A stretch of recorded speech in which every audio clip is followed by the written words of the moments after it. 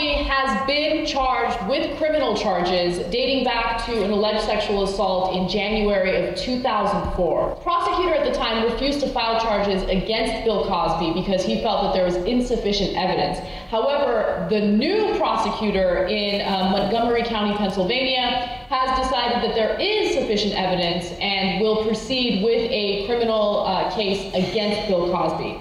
Now, um, just to give you some more details on this, the case involves a woman by the name of Andrea Constand, who apparently met Bill Cosby at Temple University when they were both uh, involved with the university. Now, uh, Kevin Steele, who is the prosecutor in this case, is saying that, hey, you know what, maybe at the time there wasn't enough evidence, but I said that if I got elected into this position, which he did, I would make it a priority to look into this case to ensure that there is justice. Now, lucky for him, there was the new evidence of the unsealed uh, records or the unsealed deposition where Bill Cosby had admitted to purchasing Quaaludes with the sole intention of giving it to women that he wanted to have sex with. And so that new information made it possible for this prosecutor to go after him. So, Hey, so what are your thoughts on this? You know, all of them are just lying. They just want attention and money. He probably just felt her up and she's overreacting. Yeah, you're probably right, but what if they're telling the truth?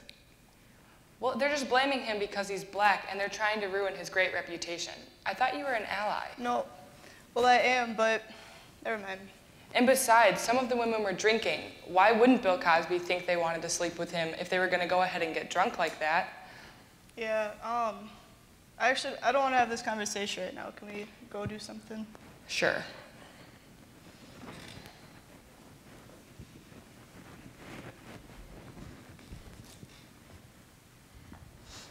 It's been 10 years. 10 years since I last felt his unwanted hands. 10 years since I last felt his wheezing breath. And 10 years since I last felt his clenched muscles on my skin. I think about it every day, but with each one passing, it never gets any easier to comprehend. I have no visible scars, but I remember from each penetration, the sharpest knife in my kitchen drawer stabbing me from the inside, leaving me bent over to mend the concealed cut solo. So who will believe me when I say, he hurt me? Because sometimes I don't believe me either. They have taught me too well never to speak without proof, because girls are little bitches who learn from their deceitful mothers. So my tiny screams are left unheard my tiny tears are left untouched, and my tiny life is left broken.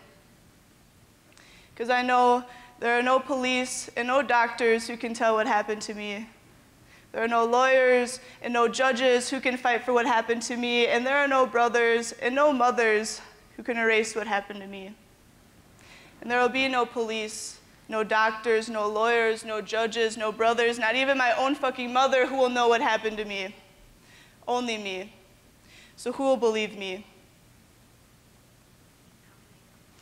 How can I come out about it now? It's been 10 years. 10 years too late. I have no visible proof, no evidence on my body to show. The only proof I have is this feeling, disgusting terminal feeling deep within. I tense and I am tense, I tense and I am left dismantled with every traumatic replay. This man has more money and more power than I ever will. So who will believe me? Look at Bill Cosby.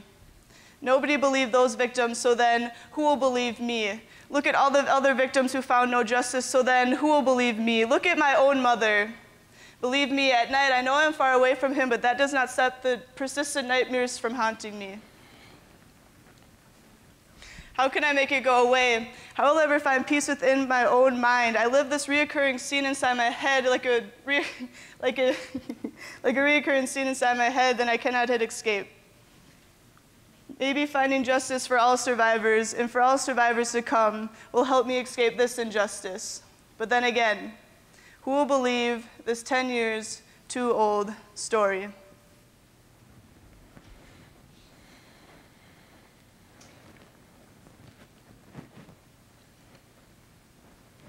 It's already hard enough for victims to stand up for themselves. If you're a victim of sexual assault or know someone who has been affected by sexual assault, if you are able to stand, please stand up to speak up.